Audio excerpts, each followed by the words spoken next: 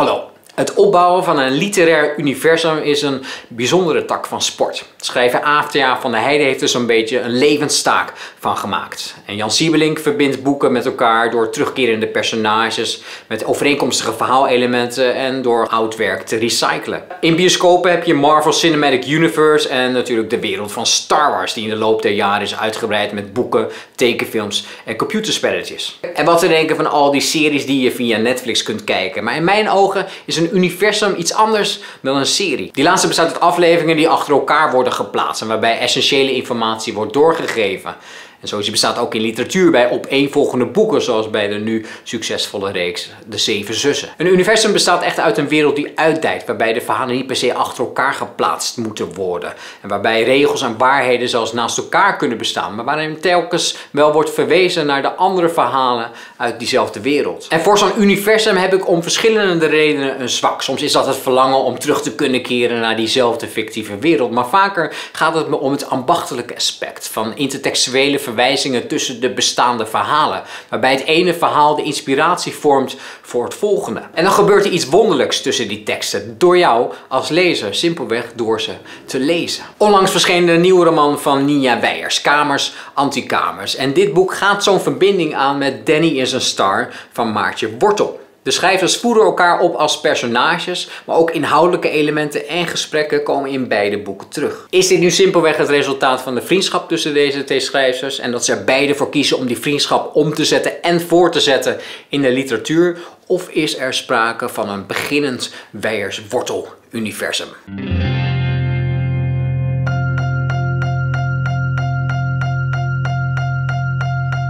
Zoals je volgens sommige mensen een verschil hebt tussen honden en kattenmensen, zo kun je Danny is een star van Maartje Wortel, dat in maart van dit jaar verscheen, als een kattenboek zien en Kamers Antikamers van Nia Weijers, dat in juni verscheen, als een hondenboek. In beide boeken vormen deze dieren een rode draad en hebben ze een symbolische lading. Schrijf nooit over je kat. Of over welke kat dan ook. Zo luidt het advies van Wim Brands dat in een soort van proloog of voorwoord staat van Danny is een star. En dat advies dat lapt wortel aan haar laars. In een springerig verhaal maken we kennis met hoofdpersonage Ted, een meisje dat niet in de tijd leeft, dat angstig is voor het leven, voor liefdes en dat ergens in wil geloven. Omdat Ted het idee heeft dat katten tijd en ruimte anders ervaren dan wij, besluit ze om een kat te nemen. Een volgens eigen zeggen 3D-god. En deze kat moet Danny gaan heten. Toen ik aan mijn moeder vertelde dat ik mijn kat Danny zou noemen, zei ze, wat een lelijke naam, zo ordinair. Ik vertelde dat het Danny was en niet Danny. Zoiets hoor je niet als je het uitspreekt, zei mijn moeder. De eerste kandidaat 3D-god stelt nog teleur, want er is geen klik. Maar als ze met haar nichtje een boerderij bezoekt, ziet ze daar in een tuinhuis een klein hoopje kattenellende. Jij gaat met mij mee, zei ik. Danny nieste. Snot kwam in tientallen kleine groen-gele spetters op mijn witte t-shirt terecht. Ik keek naar zijn potdichte ontstoken oogje dat rondom helemaal rood was en waar pus omheen zat. En ik noemde hem One-Eyed Danny. Hoewel Danny dus in de titel van het boek staat en er een goddelijke verering plaatsvindt waar ook de vrienden van Ted aan deelnemen, is dit geen verhaal over een kat, maar over iemand die een kat neemt en die tegelijkertijd vele liefdes kent, die anekdotes en pseudowetenschappelijke weetjes vertelt en die kat nodig heeft tegen de angst en om zich ergens thuis te voelen. Maartje Wortel is een schrijver die de werkelijkheid haar boeken intrekt. Dus in de tekst staan korte beschouwingen om haar verhaal thematisch aan te vullen. Van wetenschappelijke theorieën, van uitspraken van schrijvers, van het kunstwerk dat ze aan haar muur heeft hangen en van een documentaire over Nick Cave. From the person. Als verhaalverteller bouwt ze één wereld op waarin haar personages rondlopen en waarin ze de dingen meemaken die je geloofwaardig zou kunnen noemen. Door die waarachtigheid wordt het moment dat haar tasje met een dubbele dildo wordt gestolen ook grappig. Het is zo'n anekdote die het goed doet op feestjes, mits de juiste entourage. Kortom, Danny is een star creëert een wereld die je zou kunnen uitbouwen tot een universum. Ja, nou dat je vooral niet als schrijver het te klein of te binnenshuis moet houden. En de- dus daar heb ik me denk ik wel aan gehouden, want het gaat helemaal niet over een kat. Waar het boek over Danny in korte tijd al lastig te duiden en samen te vatten is, daar is dat van Kamers Antikamers van Nia Weijers nagenoeg onmogelijk. Dit boek bestaat uit korte en lange hoofdstukken met verschillende verhalen en vertelinstanties. Met interviews, verhalen binnen verhalen en een verteller die zichzelf en zijn personages becommentarieert. Soms terugkomt op iets wat eerder is genoemd en die het geheugen wantrouwt. Het komt me ineens zo kinderachtig voor. Personages verzinnen die een conflict moeten hebben, een onmogelijk verlangen en na wat tegenslagen uiteindelijk berusten of roemloos ten onder gaan. Kamers Antikamers is een postmoderne constructie waarin verhalen uit andere verhalen voortkomen. En tegelijkertijd is het een zoektocht naar het verhaal dat de verteller wil vertellen. Zo'n postmoderne aanpak resulteert vaak niet in verhalen die beklijven en het dwingt je om het geheel als een literair spel te zien. Ik heb het in een soort real-time geschreven, waardoor het schrijfproces ook onderdeel werd van het verhaal. Het is doorzichtig. Het is niet een verhaal dat zichzelf vertelt, maar ook een verhaal dat zichzelf becommentarieert een constructie. En er komt dus een hond in voor, of eigenlijk meerdere honden. Letterlijk, want er staat een foto van een hond in. En sommige personages hebben een hond, maar ook figuurlijk. Als in het sterrenbeeld de grote hond, de mythische hond Lalaps, hondsdagen als conclusie bij de interpretatie van een kort verhaal en de hond als liefde. Het resulteert zelfs in een quasi-Japanse wijsheid. 我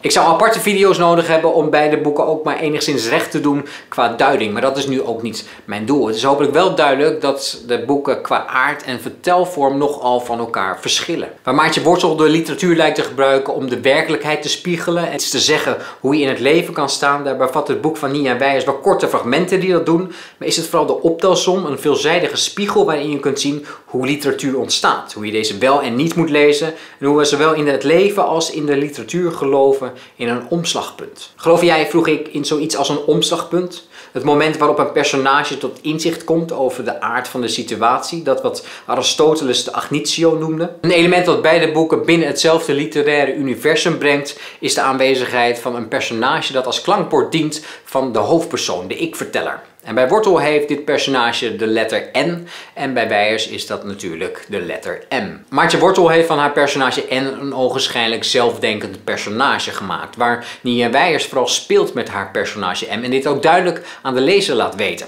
Enkele fragmenten om dit verschil te verduidelijken. Soms denk je dat je iets verloren hebt en dan komt het naar je terug, zei N. Dat wat terugkomt is nooit hetzelfde als dat wat je verloor.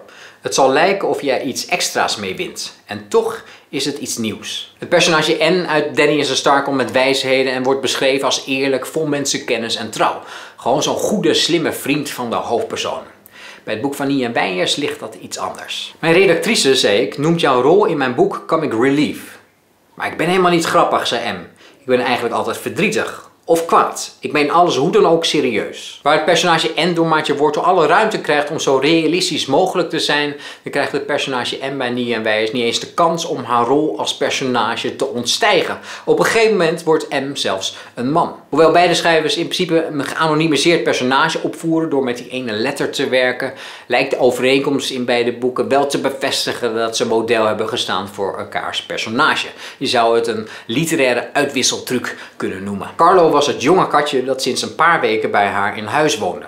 Ze had het aangetroffen in de schuur van een oude dementerende boer in haar geboortedorp. Het was mager en ziek, de neus vol snot, de ogen half dicht en ontstoken. Je zou een literaire speurtocht kunnen houden naar alle overeenkomsten in de gesprekken tussen de ik-vertellers en hun eenletterige compaan. Dan vind je uiteraard de aanschaf van het zieke katje, dat bij Beyers dus Carlo heet en niet Danny. Een paard in de wei, gesprekken over de fysiotherapeut en zijn koude gel. M die op het hondje Theo past. Een vakantie naar Normandië, het drinken van appelsieder, het citeren van liefdesbrieven van André Brink en Ingrid Jonker en het werk van Clarice Lispector. Waarschijnlijk is er nog wel meer te vinden, maar die volledigheid is niet zo interessant. Kamers Antikamers doen namelijk meer dan alleen het uitwisselen van een truc. Wijers herhaalt sommige zaken uit het boek van Maartje Wortel, maar soms geeft ze andere namen of geeft ze een andere nadruk aan de situatie of ze verdraait deze. Ze lijkt zelfs terloops naar Danny is a Star te verwijzen als ze schrijft veel verhalen beginnen met op een dag. En de eerste woorden van Wortels verhaal luiden inderdaad op een dag. Maar vervolgens gaat Wijers verder met haar eigen liefdesverhaal door te stellen en ze eindigen er ook mee. Een boek dat extreem leunt op een ander boek is natuurlijk niet uniek. Ik denk bijvoorbeeld aan de middeleeuwse volksverhalen die uit verschillende versies bestonden. En soms heb je gewoon boeken die decennia later verschenen. Dan zijn het bewerkingen of moderniseringen of misschien zelfs een parodie. Maar hier gaat het om twee boeken van verschillende schrijvers die slechts enkele maanden na elkaar zijn verschenen.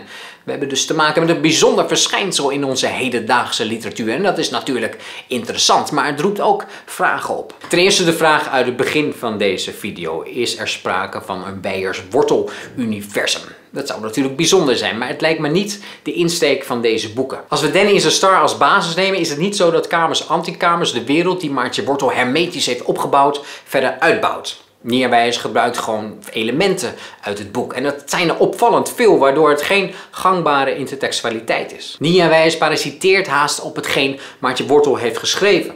Ze hergebruikt, ze herformuleert en ze spiegelt. Maar dat doet ze ook binnen haar eigen boek, wanneer ze elementen laat terugkomen in verschillende verhalen, zoals de film Arrival, de vernissage, het roodharige kunstenares, het Ouija-bord of de man met het mes tijdens de vakantie. Dit hergebruik laat zien dat verhaalelementen, of ze nu waar gebeurd zijn of niet, inspiratie kunnen zijn voor een volgend verhaal. Terwijl ik denk dat die patronen, waar noodzakelijkerwijs veel herhaling en stilstand in zit, juist een levenskracht bezitten. Zo noemt ze aan het begin van de roman het begrip parataxis, de techniek van het naast elkaar plaatsen van aanvullende verhalen, waarna ze schrijft: Je zou dit een literaire techniek kunnen noemen, of een realistische manier van leven. En zelfs die laatste frase waarin literatuur en het leven als het ware inwisselbaar zijn, komt aan het einde van het boek letterlijk terug. Dat hergebruik inclusief omkeringen en spiegelingen is dan ook terug te vinden in de titel.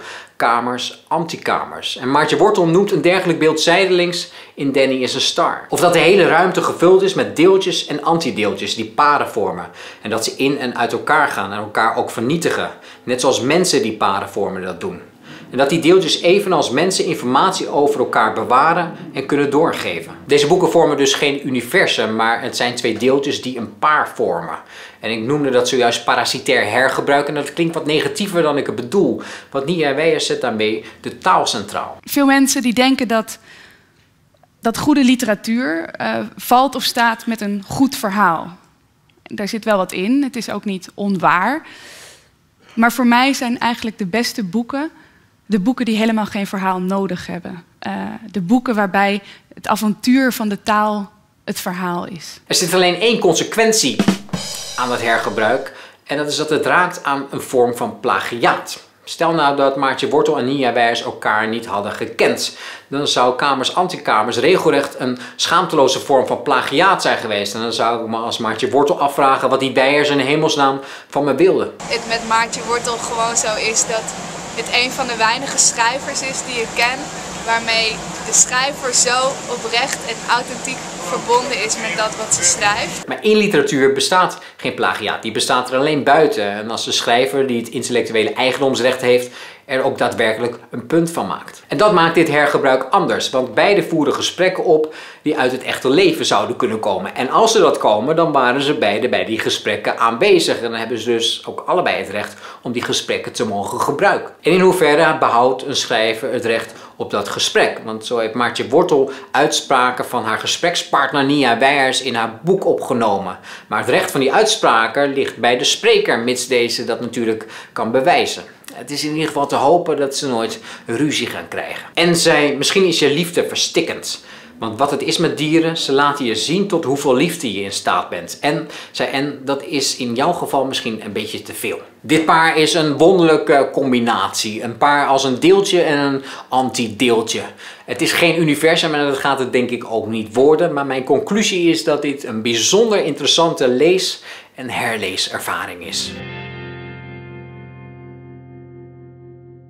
Als toegift nog een extra bevinding.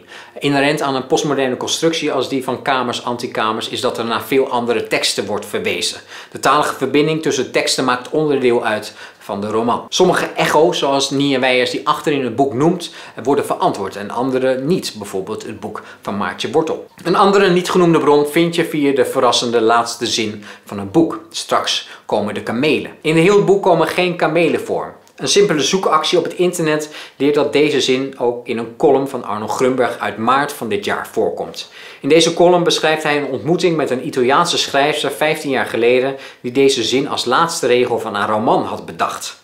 Dat het geen toeval is dat deze ook in het boek van Weijer staat, bewijst dat meerdere elementen uit diezelfde column terecht zijn gekomen in kamers antikamers, zoals de zin chronologie is overschat en een nog te schrijven roman over het jaar 1913, omdat toen niets gebeurde. Deze overeenkomsten kunnen twee dingen betekenen. Of Arno Grunberg heeft Nia Weijers als een Italiaanse schrijfster van 15 jaar geleden opgevoerd, of Nia Weijers heeft de column van Arno Grunberg geplunderd zonder deze te vermelden. Over een vriendschapsband tussen Weijers en Grunberg is mij niets bekend.